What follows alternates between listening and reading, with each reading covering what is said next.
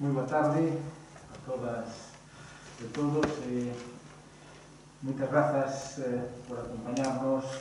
neste acto de inauguración desta exposición Don Emilia e Compostela exposición que organiza o Ateneo de Santiago coa colaboración da Xunta de Galicia do Concello de Santiago de Compostela e tamén da, da Universidade de Santiago de Compostela. É un placer pois en estes tempos poder eh, recibidos despois deste período de, de limitacións e de eh, casi confinamento pois eh, nun acto outra vez cultural eh, quizás tería máis sentido facer a inauguración da exposición na exposición como era máis habitual pero bueno, a razón de tratar de manter a distancia de seguridade por feito que falamos aquí neste Salón Nobre de Fonseca. Agradezolle especialmente a, a presencia o alcalde de Compostela, Xosé Sánchez do Gallo, e tamén o presidente do Ateneo que está aquí con nós, Salvador García Bolaño. Están tamén con nós, a mesa mantén o mesmo tamaño, pero a distancia de seguridade fai que tengamos que disminuir os eh, presentes dela e están tamén con nós e, pois, eh, o secretario xeral de Cultura, Anxo Lorenzo, e está tamén aquí con nós pois, o comisario da exposición, o profesor González Ferrán, saúdo tamén a vicerreitora de Cultura da Universidade de Santiago de Compostela, concelleiros, concelleiras, decana, decano, eh, centro do Consello da Cultura, estou falando así, según vendo as caras, discúlpenme seguramente, e outros dos conselleiros director da biblioteca, en fin, grazas a todos por, por acompañarse, por acompañarnos, díganse por saludaros e discúlpenme as miñas, as miñas omisións. Ben, vai a eh, tomar a palabra en primeiro lugar o profesor González Serrán, que é o comisario desta exposición, profesor da nosa universidade. Boa tarde,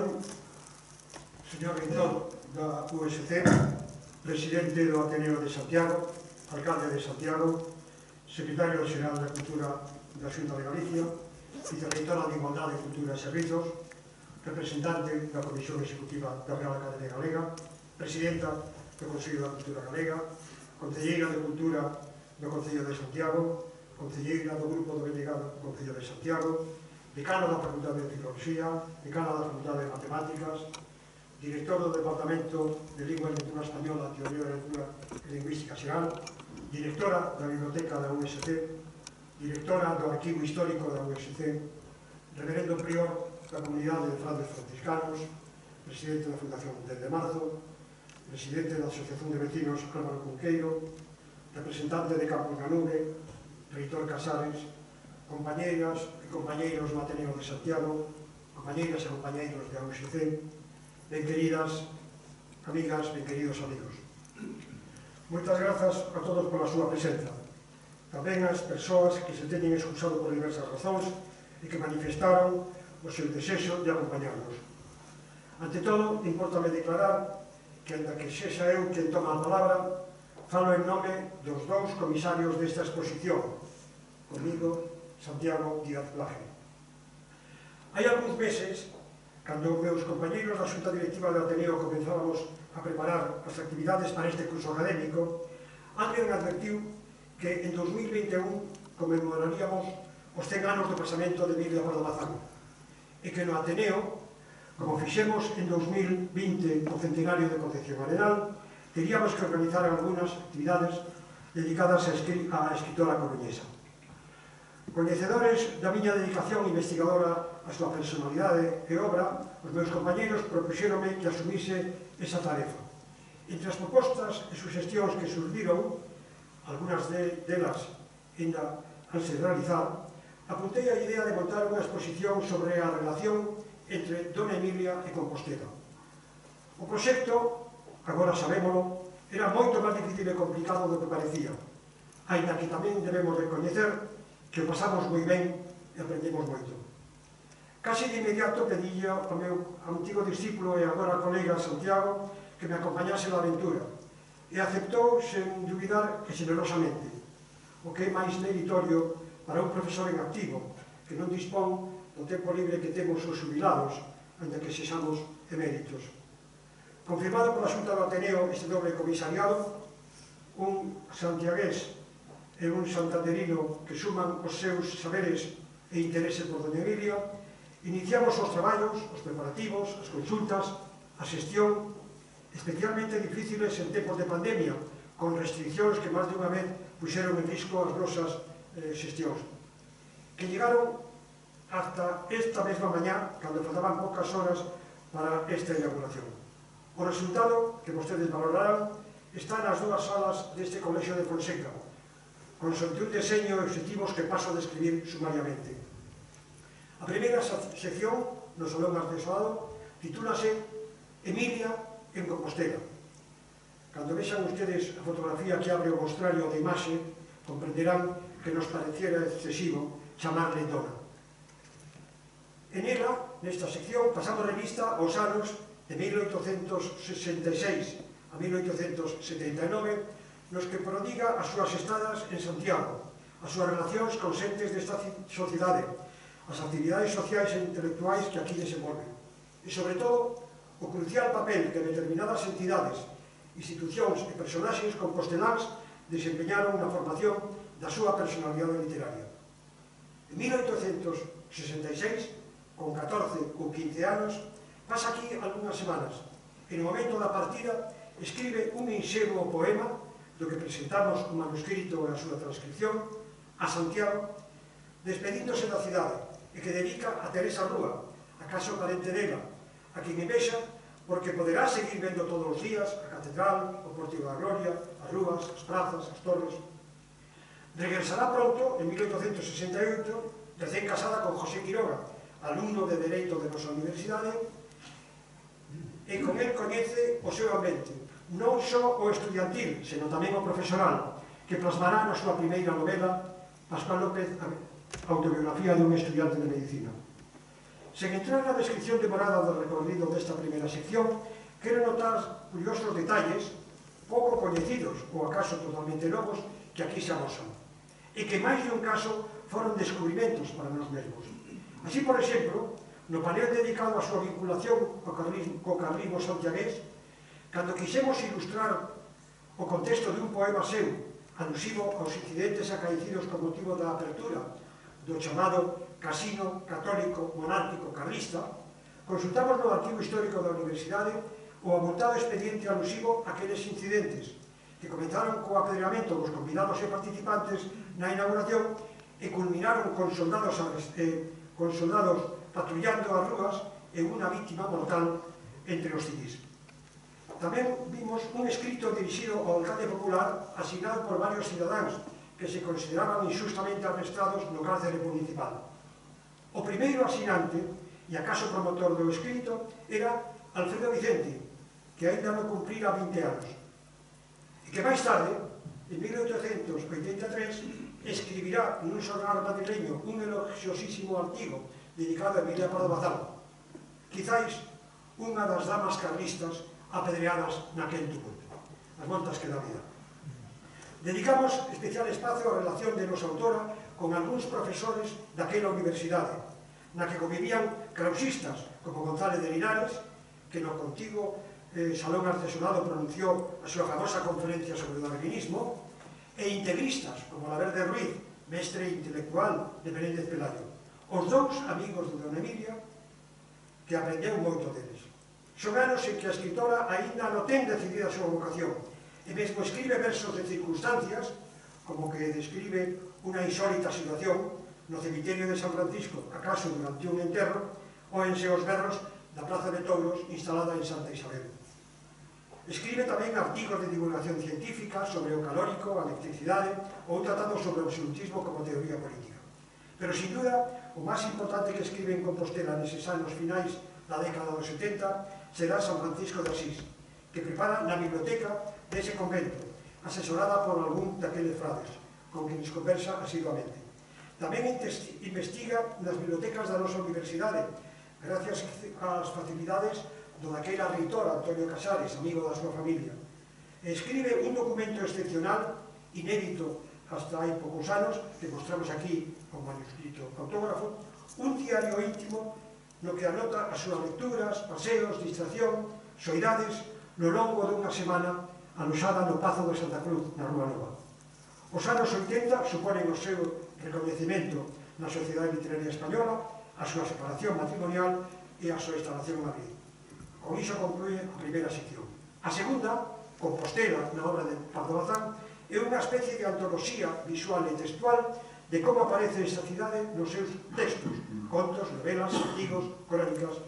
Estamos seguros de que, agas para algúns especialistas, esa parte vai supor unha sorpresa, na medida en que demostra a frecuencia con que os seus relatos, especialmente os contos, están ambientadas na cidade, están ambientados na cidade, e como recrea algunhas das súas historias ou lendas. A Santa de Gonzalo, no veciño Concello de Opino, a Monsa de Xampaio, morta cando se descolgaba dunha das reixas do mundo da Quintana,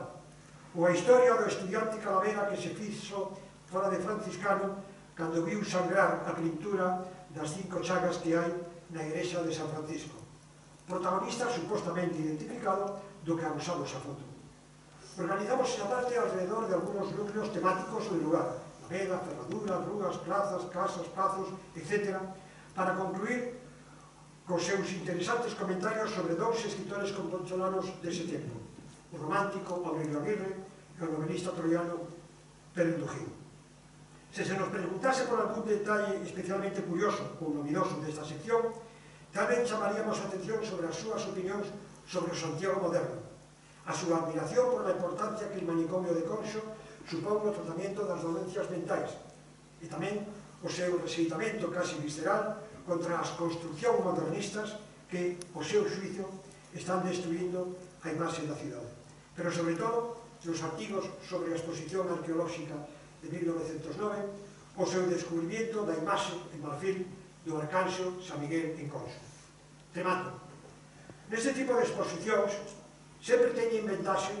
as de fotografía, pintura, grabado ou calquera arte plástica.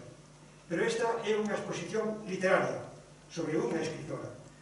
Por lo tanto, nas vitrinas o que hai son libros abertos nas páxinas pertinentes ou documentos e nos panéis textos ilustrados na medida en que o conseguimos con grabados, fotografías antigas e actuais. É unha exposición para mirar, pero tamén para ler. En todo caso, supoñemos, o sabemos, que nos visiten virán motivados polo seu coñecemento ou curiosidade por aquela muller que faleceu hai agora 100 anos en cuxa biografía, personalidade e obra literaria Santiago de Compostela ocupa un lugar fundamental que acaso non se ten recoñecido como deber. Esperemos que esta exposición contribúa a demostrarlo. O tan obrigado como grato capítulo de agradecimentos é tan longo que nos resulta imposible expolo aquí. No panel de créditos da exposición consta a relación de arquivos, hemerotecas, bibliotecas públicas e particulares que nos proporcionaron libros e documentos, ou de onde proceden algún dos facsímiles e imaxes que expomos. Pero facemos constar que os seus responsables non se limitaron a cumprir a súa función atendendo a nosas peticións, senón que o fixeron cunha amabilidade, generosidade e prontitude que excedían as súas obligacións e como eles, un bon número de compañeiros, colegas e amigos que nos axudaron nas nosas consultas e pescudas, que nos animaron o que colaboraron en diversas maneras neste proxecto. Os seus nomes recolleránse na lista de agradecimiento na guía catálogo desta exposición que colgaremos próximamente na página web de Ateneo e que acaso se poderá descargar nas salas de exposición mediante un código QR. Gracias, pois, a todos eles e tamén a todos vostedes por acompañarnos neste acto. Moitas gracias.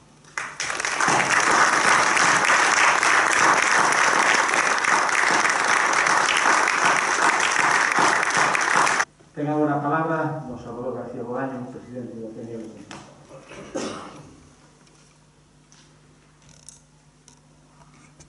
Autoridades, prezadas amigas e amigos, asistentes a esta sesión de inauguración da exposición. Recordar antes que nada que o vindeiro 12 de maio celebrase o centenario do falecemento da insigne escritora Doña Emilia Pardo Bazán, unha das personalidades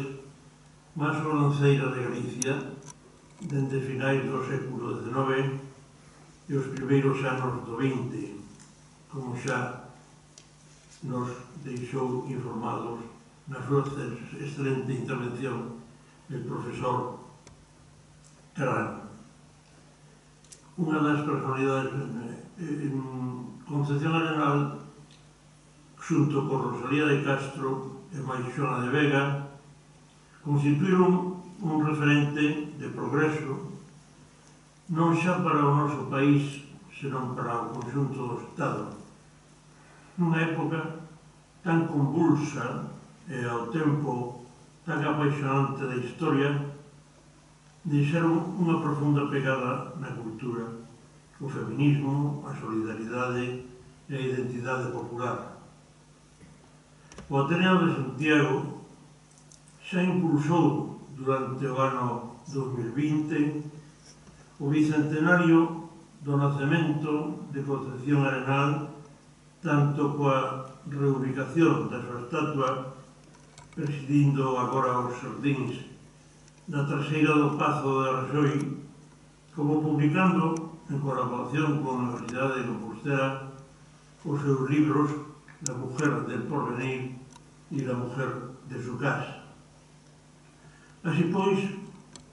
Na lectura que estou a efectuar neste Salón Nobre do Colexo de Fonseca, deste breve texto de elaboración ateneísta, preténdese evocar, en consonancia coas finalidades da nosa entidade e a trayectoria seguida hoxe, a oportunidade que non podíamos deixar pasar de resaltar e louvar a figura de Dona Emilia Pardo Bazán no centenario do seu casamento. E como non podía ser de outra maneira, decidimos impulsar esta magnífica exposición de Doña Emilia de Compostela, comisariada polos profesores José Manuel González Herrán e Santiago Díaz Laje, contando coa inestimable colaboración da Universidade de Santiago do Concello de Santiago, a Secretaría Xeral de Cultura da Xunta de Galicia e a representación da Real Academia Galega. Sendo así, que conforme se ten indicado no convite a esta exposición, o seu objetivo abrangue dous aspectos que aquí exhibimos. Un, o de amosar o referente na estancia da escritora na cidade o título Emilia Compostela de 1866-1879 no Salón Artesanal como queda constancia en documentos, imaxes, libros, estadías, traballos e amistades, lembranzas, testemunhos, relacións, persoais, etc. E outro na sección exposta na, na capela coa denominación proporciona na obra de Pardo Bazán de 1880-1921, onde se reflicte a presencia da cidade nos seus relatos, ensaios, artigos e crónicas xornalísticas. Neste senso, o Ateneo de Santiago ten previsto dedicarlle a conmemoración do Día da Muller o vindeiro 8 de marzo unha conferencia dos RUMS do Ateneo impartida pola académica de honra Marina Mayoral, así como distribuir a obra El vidrio roto, cuento para as Américas, editado e introducido polo directivo do Ateneo Xosé Manuel González Arrado. Dende o Ateneo de Santiago organizarás ademais os sábados un amplo conxunto de visitas guiadas a mostra a cargo do comisario Xosé Manuel González de Arrán.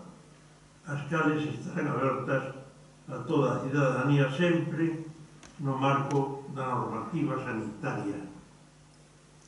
Quixera rematar esta breve miña intervención agradecendo a todas as entidades colaboradoras por seu apoio sen o cal non sería posible levar a cabo non só esta exposición, senón todos os actos que realizamos dentro do Ateneo de Santiago e darlle os parabéns e agradecer igualmente aos comisarios o traballo desenvolvido ao longo de todos estes últimos meses para poder chegar a ter hoxe aquí este fiel reflexo da relación entre Dona Emilia e Compostela. Agardamos que o contido desta interesante mostra sexa do vosso agrado. Moitas gracias. Moitas grazas, presidente. Ten a palabra o secretario de Agricultura, Anxo Vázquez. Moi boas tardes a todos e a todas eh, non vou ser eh, o exhaustivo que foi o profesor González Cerrato, que seguro que me queda alguén sen saudar, pero sí que por unha cuestión de eh, delicadeza institucional, obviamente, pues, teño que, eh, con cariño, ademais, eh, saudar as persoas que presiden esta, esta sesión, o señor rector da Universidade de Santiago Compostela, o señor alcalde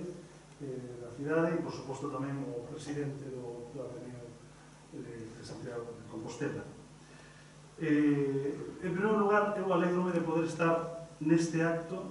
eh, polo tema, obviamente, do acto, pero tamén poder ver este, este Salón Nobre de Fonseca pois case como non exactamente igual a antes de marzo do ano pasado, pero xa isto empeza a coñer un poquinho de forma de como éramos actos antes deste momento pandémico tan horrible que estamos vivindo. Entón, eu alegro de poder estar xa outra vez en actos en que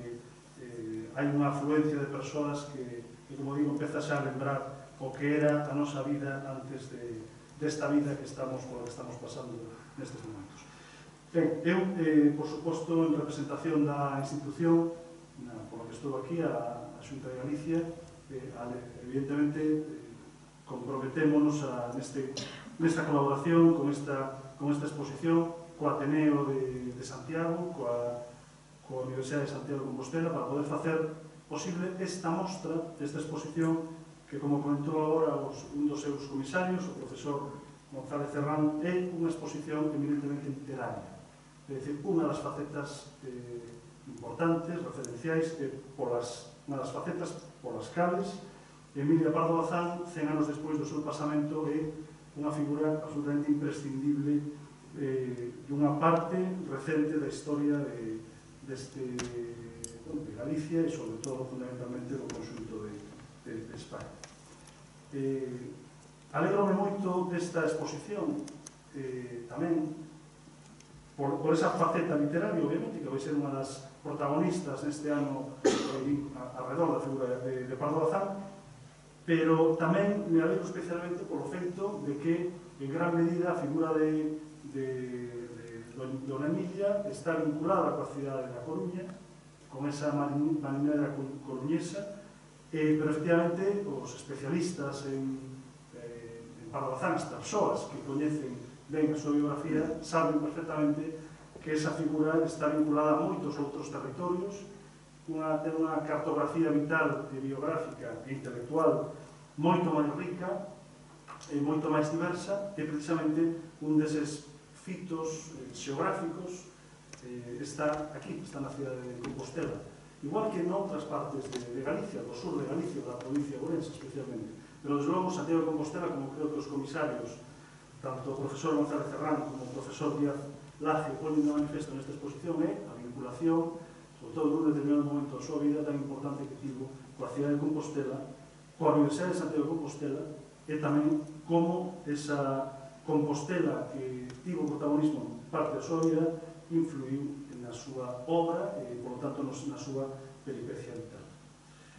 Ben, non me vou estender moito máis, pero sí que me gustaría comentar, xa para, para rematar, que neste ano, eh, que está empezando a efectos prácticos, digo, porque vamos unha semana aí atrás en que foi imposible poder facer eh, case nada a nivel presencial, por lo tanto, retomamos unha actividade eh, máis ou menos normal, eh, pois, tamén comezan as actividades vinculadas coa, con este centenario da, do, do pasamento de Emilia Pardorzán. Creo que imos poder asistir a moitísimos, a diversos fitos, a diversas actividades de todo tipo que van poñer eh, o foco, no, no primeiro plano, a figura de Pardo Bazán, o co cal imos poder realizar unha reflexión unha avaliación, unha valoración sobre moitísimas das facetas eh, que aportou Emilia Pardo para avanzar en vida. Eh, seguramente poderemos reflexionar sobre moitos dos deses fíos que ela foi deixando, que ela foi aportando, e que hoxe, cen anos despois, bueno, máis de cen anos despois, cen anos da súa morte, pero cen, máis de cen anos despois de que eses fíos que ela foi tecendo e foi Ah, aportando, pois creo que imos ter oportunidade, a través, como digo, de moi diferentes formatos, eh, simposios, congresos, publicacións, exposicións, como esta que hoxe inauguramos en Compostela, de, digo, teremos a oportunidade de valorar e de reflexionar sobre efectivamente esa figura, figura de Pardo Bazán, unha figura nacida e eh, desenvolvida nun contexto determinado, nun contexto evidentemente moi afastado, non tanto no tempo, pero sí, seguramente no, no social e no sociopolítico, eh, como digo, imos ter oportunidade de dar a coñecer no século XXI unha persoa, unha figura e un legado dunha sociedade eh, dun momento histórico de final do século XXI, eh, perdón, do século XIX, e dos primeiros anos do século XX, e como digo, hoxe, cen, máis de 100 anos despois, o que nos toca é valorar, reflexionar de reinterpretar cos ollos e coa, e coas,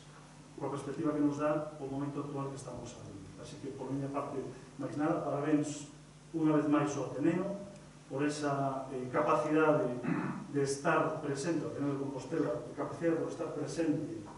nas, eh, nos debates e nas citas importantes, igual que o ano pasado, como que Marenal este ano con, con Pablo Bazán, e, por suposto, a Universidade de Santiago de Compostela e o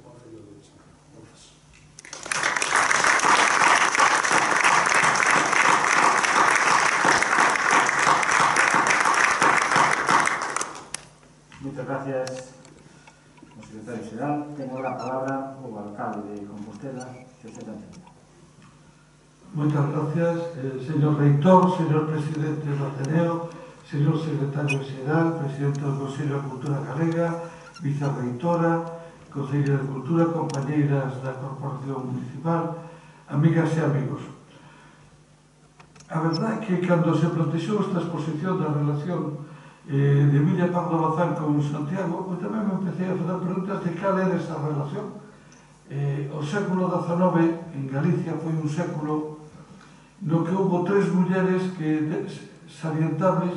de unha influencia extraordinaria e demais prolongada no tempo, empezando por Concepción Arenal, por Rosalía de Castro e por Emilia Pardo Bazán. Tradicionalmente, todos nós eh, vemos a enorme relación entre Rosalía de Castro e a cidade de Santiago, xa a relación un pouco máis lonxana entre Concepción Arenal e Santiago, pero Emilia Pardo Bazán hai que reconocer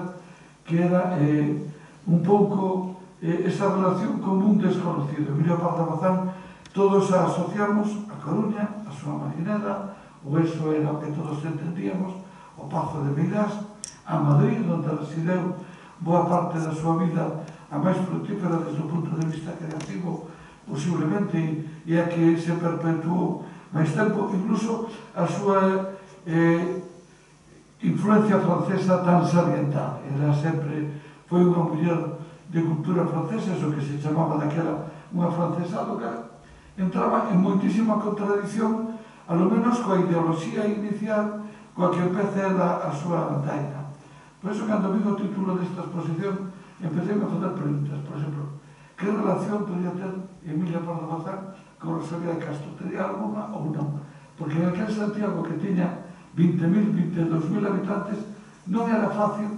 que dúas mulleres de esas características foran desconocidas. Eh, incluso era bastante difícil que poderan pasar desapercibidas unha a outra. Sei que a relación con Murguía era complicada, pero bueno, a relación con Murguía era complicada a de todo o mundo, por lo tanto, tampouco era unha excepción.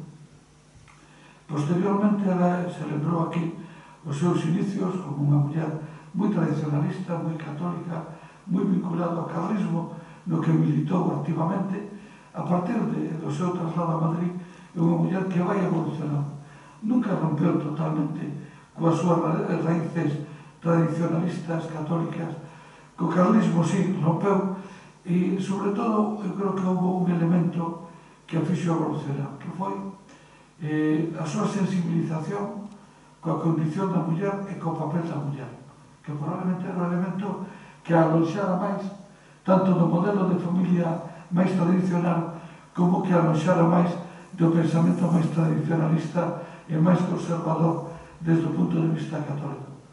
Eu simplemente para rematar quero decir dúas cousas. A primeira, reconocer o papel tan extraordinario desas tres mulleres, probablemente eh, son as tres mulleres máis influentes do século XIX e de principios do século XX en España. Probablemente son as que son a maior referencia o compromiso destas tres mulleres coa condición da muller justamente cando estamos en vísperas eh, do 8 de marzo e quero rematar tamén co agradecimento eh, ao Ateneo de Santiago por o labor que ven desenvolvendo, divulgando, tanto a conocer facetas que me parecen absolutamente, eh, pois, que para moitos de nós incluso pasaban desapercibidas, incluso aqueles que nos queremos, que estamos nos temas e que conocemos algo dos temas. E en este sentido, quero facer unha especial felicitación aos dous comisarios da exposición. É un magnífico traballo do que imos a disfrutar todos. Moitas grazas a todos os que o fixeron posible e moitas grazas a todas e a todos os que estades hoxe aquí.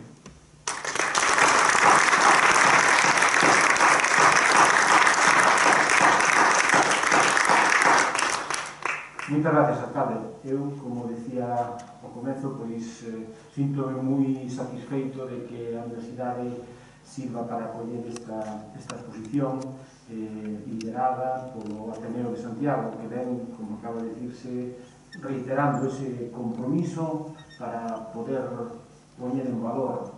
e facer que todos podamos achegarnos máis a figuras referentes.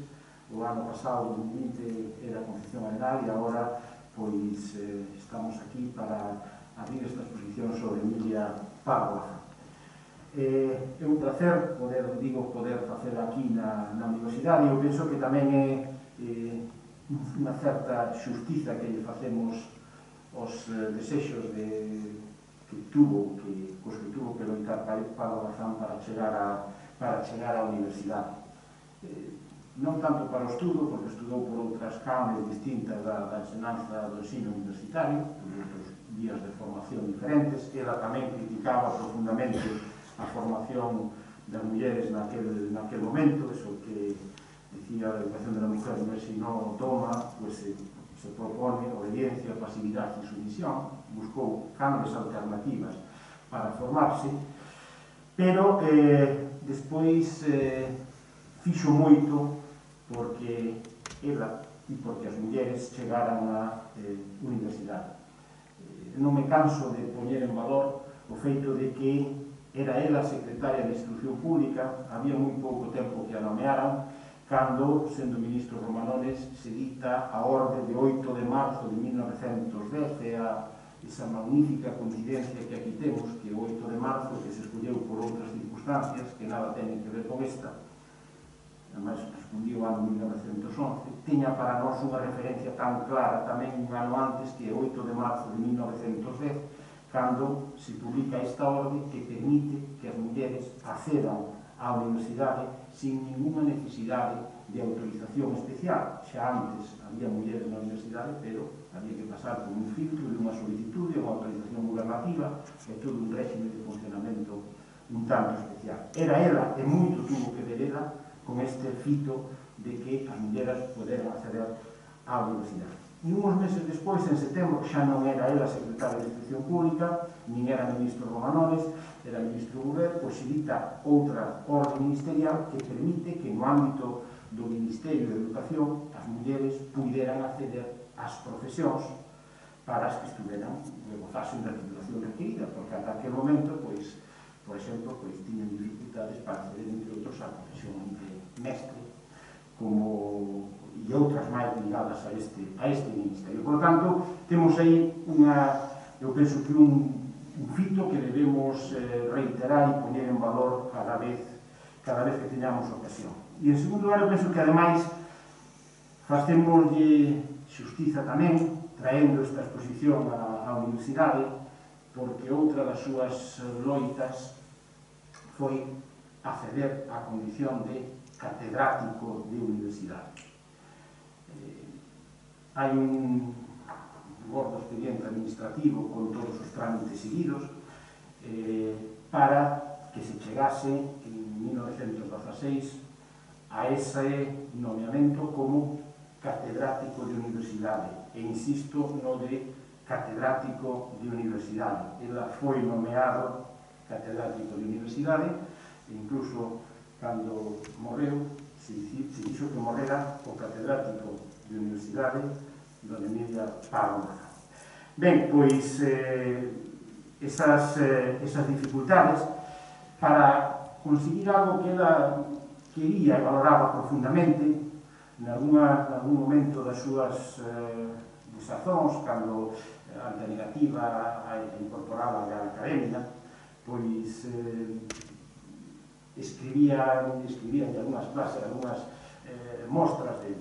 bueno, de ánimo, comadre e tal, era que decía que prefería, preferiría unha cátedra. Los honores no valen lo que el trabajo. Me han prometido una cátedra en la universidad. Esto dició en 1900 911. E logo, pois, eh, vez concedida a cátedra, escribe a un amuno